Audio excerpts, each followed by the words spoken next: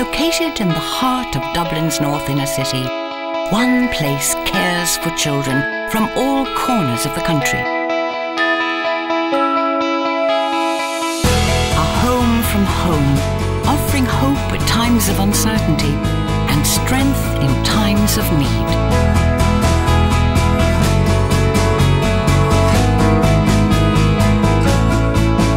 inviting us into their world, we witness difficult decision making, life changing surgery, and powerful success stories. In the emergency department, we never know what's going to come through the door next. Paid staff have to be ready for surgery at any given time.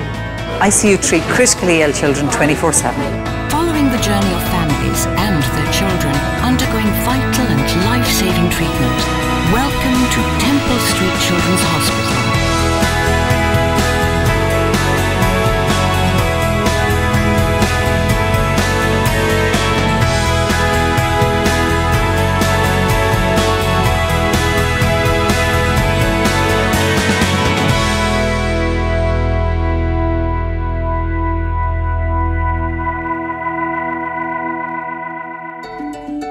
This morning, 23 month old Teva Brand Donaldson has arrived on the top flat ward ahead of surgery to correct her hip dysplasia. Teva came in this morning at about 7 a.m. for um, a left hip osteotomy, and that means her hip is dysplastic and is, it basically isn't in the ball and socket as much as it should be, so it needs surgical intervention.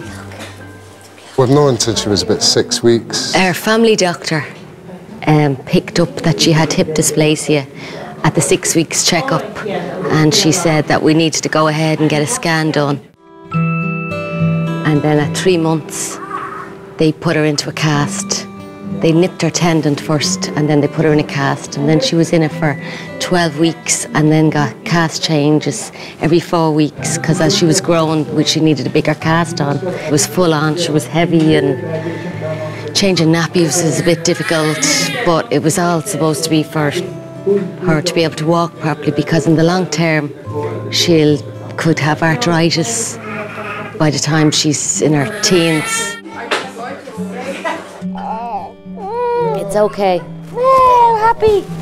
It's okay, Teddy Cream. Oh, it's nice. Teva's been in the hospital before for casting without uh, theatre, so she knew that she knew there was something up this morning, so she was very anxious. The nurses were coming to take her temperature and things. She's, I think she has a little bit of trauma from being here before. She remembers a little bit of it. Had she seen anybody coming close to her, that was it. You've had it. It is hereditary in that it runs in families to some degree, but it's not strictly genetic. So it, uh, I, I suppose many children we see with severe dysplasia have no family history. So this is her normal hip, and the outer margin of the hip is parallel to the ground, and it forms a sharp angle. So this femoral head, most of which you can't see because it's cartilaginous, is safe for the future. Whereas this one, the femoral head is in here, but the socket just runs up at a very shallow angle. So untreated and unchanged, that will be a hip replacement when she's 30 or 35. So the surgery simply cuts the bone here and, and makes that more horizontal.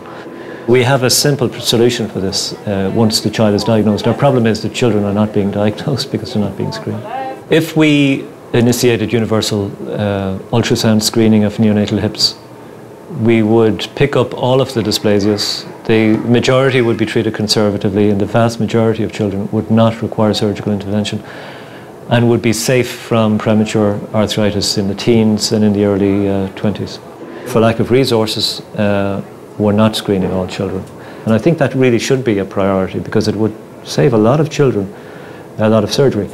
From the beginning, it, it seemed as if it was always going to come to this point. They always said all along they were looking towards an operation. They tried everything to prevent an operation by putting her in the cast and then the brace. And they said that before she's two, because it wasn't settling, it's more than likely going to be the operation. I mean, I guess we were kind of always geared up that it was. But you this hope, gonna- I mean, they tell Yeah, you the news yeah. of you might be looking towards an operation and you hope and you wish and you pray and you. But at the end of the day, it's not. The procedure has to be done, you know. In the long run, it'll be better for her. Yeah, definitely. Yeah. it's quite a daunting situation for any child. You have all these um, nurses around her. While Teva waits for surgery, 12 year old Kelsey Boylan has arrived on the day ward ahead of a minor procedure. I didn't really like them because like I used to get slagged in my old school and all. I go to a new school now but like no one really knows about them so I, I wear my hair down all the time. You won't put it back at all. You won't put it back at all. It's just down. It's been hard for her, you know. Some kids can be cruel. And finally coming off. Kelsey's here today because uh, she's 13 years old almost, and like all young ladies, she's beginning to become more concerned about her appearance. She has what are called congenital preauricular ear tags. In other words, they are small skin tags that have grown since birth in front of her ears. This is just extra bits of skin which you can have in any area. In her case, it's just to the front, just before her ears.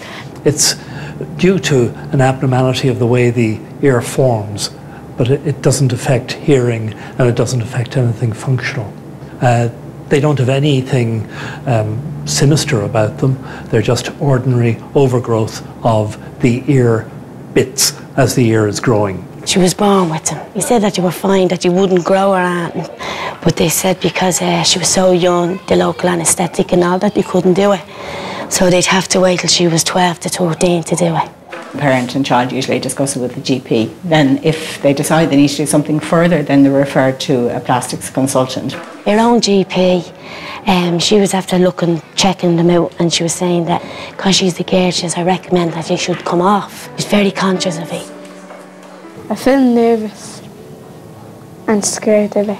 Like when you get in, like you're real scared and then you're at home like, yeah, I can't wait. And then when you get in, you're like, oh no. She'll be grand. While Kelsey prepares for surgery, Harry Gardner arrives in the emergency department after an accident in school. Harry presented in with his mum um, with an injured wrist. When a child presents in like this, we always have to get a good history to try and establish the mechanism of the injury. What brings you here today? I was playing football and uh, uh, a boy came in and tackled me and he stopped the ball and I fell over and landed on my wrist. Okay, did you put your arm out in front of you to save yourself? Okay. And where is it sore now? Uh, it's sore sort of just in there. They had done very well immobilising the injury. He had a sling on, so that would help with pain. So we're just going to have a look and make sure that none of the other bones there are sore, and then we, I'm going to work my way down the whole arm. On examination, then you just have to outrule other injuries and try and pinpoint where the actual injury is. He was very pinpointed. There was some swelling around his forearm and um, wrist area. Now we want to see the movement of your joints. We're going to see how your shoulder moves and then how your elbow moves. Your shoulders moving, arm up over your head. Oh, okay, okay, okay, okay. You do up and down of the wrist? No. No, too sore. He was in quite a bit of pain actually when he came in. You know, he hadn't had anything for pain. I'm just going to feel it. There. That's it now, we're nearly done, okay? After he's had some pain relief, Harry undergoes a second examination. Could you, could you lift your arm? It's a bit sore.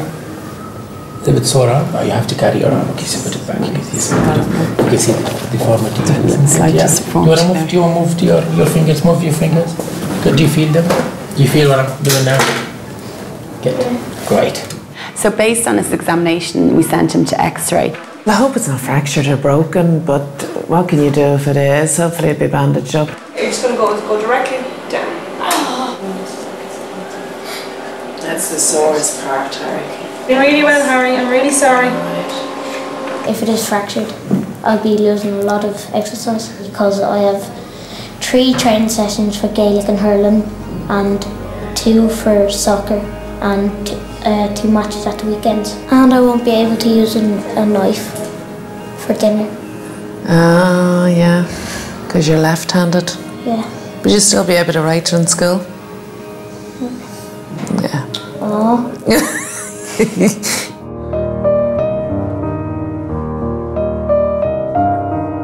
While Harry waits on his x ray results, Teva makes her way to theatre. So you feel kind of, you know, at loss really. You want to stay and comfort her, but obviously it's in the hands of the surgeons then. It's kind of hard because there's nothing you can do. Okay, thank you very much. Okay, thank you. Thanks, guys. Bye. Bye. You wait till 18 months. That's the age at which we start contemplating this kind of bony surgery. Uh, in younger children, although they're dysplastic, the cartilage bone hip is too uh, soft, essentially. It's predominantly water, the femoral head. And if we turn down the bone on a soft femoral head, we could damage it. Because we do a lot of this surgery, the technique we use is somewhat modified from the standard traditional procedure. Uh, the standard procedure is a relatively large uh, incision. The bone is cut with a Gigli saw, which is a wire saw. The dysplasia is corrected and two wires are inserted, which are then removed under a second anaesthetic six weeks later. And traditionally, the child is put in a, in a plaster of Paris cast. Here, we have it down to a two centimetre incision, uh, and we use a small electric saw, so we don't need um, a large incision. And we don't use wires anymore, we use dissolvable uh, equivalents, which don't need to be removed, so there's no need for a second operation. And we don't use a, a plaster of Paris cast, we use a removable brace uh, for three or four weeks. It's a much easier procedure, and it has to be an easy procedure for me to, because it's a prophylactic operation. In other words, the child doesn't yet have a problem, they don't have arthritis. And I have to be able to convince parents that, that we have a simple solution for a problem that may not arise for 35 years. Uh, if it was a bigger, difficult procedure, um, parents would be reluctant to, under, to accept it. Surgeons would be reluctant to do it. And dysplasia would be accepted. Uh, and nobody really suffers for 35 or 40 years until the, until the arthritis starts. It's a short procedure, about 10 minutes uh, surgical time. And the child, uh, like Teva, has a general anaesthetic plus an epidural, so they're pain free when they wake up. I went down to co- uh, collect her in theatre, she wanted out, but since she got back up to mum and dad, she's really settled.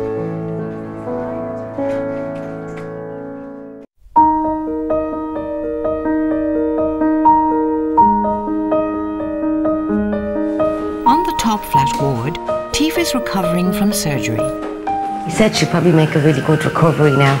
And she's on a morphine pump, so she gets a, a little bit of morphine all the time, just a titch to her body weight. And then if she needs more, I have a little button I push, and, and that's based on if, if she's awake and crying, because she can't tell us if she's in pain. She came back in a brace, which we're able to take off and put on to change the nappies, which makes life a lot easier for her and, and me. For that procedure, it's always just a brace. We don't use cast, but casts are still used, um, but they're not necessary. We've demonstrated that over 15 years here of doing this. They had recently said that they would put pins in her hip, but now they've put in these dissolvable pins, so she won't have to go in for another operation. Things are looking much better than what they were, you know, and then the brace will only be on for a week, they said, depending on our mobility. The brace is worn traditionally it was six weeks. We have it down to about four weeks now. And now my instruction to parents is when the child wants to kick it off and start moving, let them. It's really for comfort because the little bit of bone heals in three or four weeks uh, at that age. It's the end of the road for now. They will have to keep an eye on it, but I think she's over the worst. Hopefully home tomorrow, all going well. If she eats, drinks, um, passes urine and is pain-free um, and we're happy with her brace and, and of course her foot as well. Her, that her, there's a good colour in her foot and good perfusion and pulses, she can go home. We'll follow her up over several years with x-ray to ensure that with ongoing growth, her hip now develops normally. Um, but if the next two or three x-rays are normal over the next two or three years, she's discharged. Teva's on the road to recovery and will return to the hospital in three weeks for a checkup. In the meantime, Kelsey makes her way to theatre. Kelsey's a teenager, so there's a lot more that you can explain to a teenager, but you also have to be cognizant of the fact that it's in hospital, it's with strangers, and now it's a decision that a child is partially making themselves to have something done. So again, it's the importance of explaining the procedure and support through that procedure. Have you any questions? No.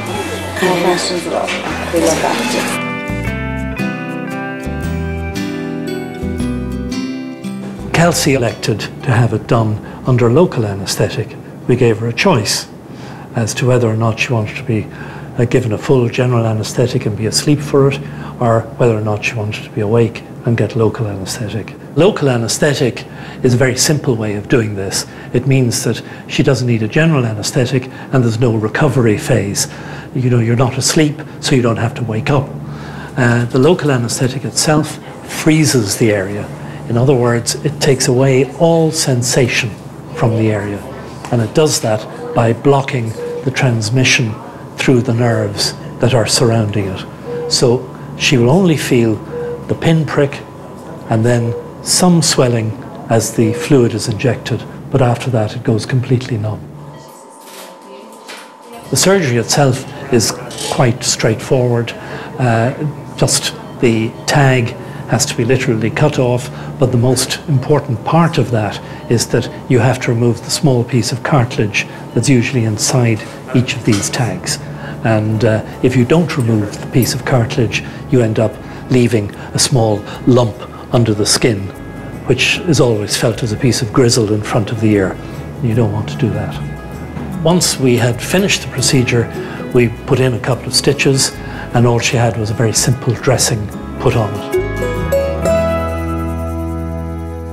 In accident and emergency, Harry's results have just arrived. How did you get on?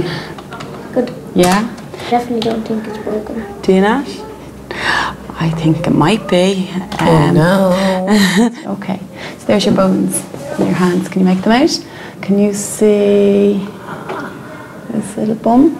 Luckily enough, his seems to be straightforward. There is a break through both the bones, but the bones are nicely lined up, um, Right, so, they so should they heal. There's no angle. Yeah. As Harry has had a clean break, the support of a cast will aid his recovery. We'll put on your cast and let you out of here. Yeah. Yeah? This is just like a half bandage. Exactly. So all we want to do is we want to immobilise it, keep that um, arm in the right position and nice and straight. Brilliant. Okay, and wiggle the fingers again. And they're nice colours. So that's the type of thing that you're going to be looking for when he has the cast on. Just looking at the hand in comparison to the other hand, mm. and making sure it's the, the same colour and the same temperature. If you notice any blueness, coldness, pins and needles, or swelling, sorry, chicken. Okay, what have you rested on that? Will that be better? How come you're only leaving holes for the thumb and the finger? Everyone thinks that hole is for the finger, but wait till I show you now what it's for. There's method in my madness, you'll see now. Straighten out there. So we're going to bring it up over the elbow just to give it that extra bit of support, okay? When I put this cast on, this is the position we want it in, okay? And the wrist nice and straight there, okay? It goes quite hard quite quickly, but it doesn't fully harden for 24 hours. So you need to make sure to keep it in the position that I put it into because Oh, and then you soak that so that Yeah. It sticks. You ready? Yeah. Okay. This is playtime. This is it now.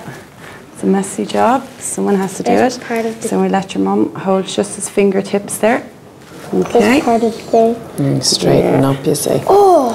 Oh. And he's sore for a wee minute. You have to stay real Okay. straight. You're doing great. It's nearly done now. There you look. It wasn't for your finger. Everyone puts their finger through there. Now, we put on a back slab. Here we put on an above elbow back slab and we've referred him to the orthopaedic clinic. He'll go back to outpatients for the orthopaedic team to follow up. I'm out of sport and I'm not allowed to play for three to six weeks. It's not very good. But I'm sort of happy that I, have, I finally have a cast. I'd say he's more thrilled at the fact that he has a plaster cast coming that everybody can sign. But uh, he'll experience the pain. After a successful surgery, Kelsey makes her way back to the day ward. I'm looking forward to seeing how she'll have confidence now, hopefully, you know, and not worry about them. That'd be great. You can get up there on the bed again if you want to. So all done. Oh, that looks great. She's delighted. Delighted. Are you happy now? Yeah. The aftercare is that she needs to keep it dry for a couple of days, and uh, the little dressing will peel off itself. The stitches are absorbable and they'll fall out. So essentially, it's quite simple. Kelsey was great. She recovered very well from surgery. She was quite happy with the local anaesthetic. She came back, she had something to drink, a nice little chat, and her plan for what's going to happen when she got home, and also a plan for coming back to outpatients. I want to book you back in in six weeks for Mr. Earley's clinic. Is that all right? That's brilliant, yeah, yeah. Now, when her scars heal and she sees it for herself, once she's happy with that, hopefully then her confidence will just go on and on from there. Weeks since her surgery, Teva returns to outpatients to check in with Professor McCormack. Time for her to come out of brace today. The x-ray looks good, uh, so she's over the surgery. Did you say hello? All well? Oh well, Yeah. she soon, seems to be doing brilliant. Um, I'm going to show you her x-ray, it's fine. Her acetabulum, her socket, which was very shallow, is now quite deep. That's the objective, so we've achieved the objective. So you can see where we've cut the bone and leaned on it, so this becomes horizontal. She's a nice deep socket now. And we infill this with a little piece of bone from here. And we fix it all with two dissolvable pins, which have gone now, you can't see them, and the whole thing begins to heal up. And in another year, you won't see any evidence of surgery. She'll just have a normal looking x ray. The only um, issue is the future because she's still got a lot of growth. So even with a normal x ray today, I wouldn't dare suggest that it'll continue to be normal. It probably will be. There's a small chance that as she grows, this won't grow and it becomes relatively shallow again, which is why we follow. And if that happens, we fix it again. It's not a big issue. How's the wound? The scar? it looks like it's healed. Oh, yeah, fine. It's fine. It's oh. fine. Is this for me, is it? Thanks very much. My lunch. Dr. McCormack. Did you say thank you? Happy? Ha ha ha ha!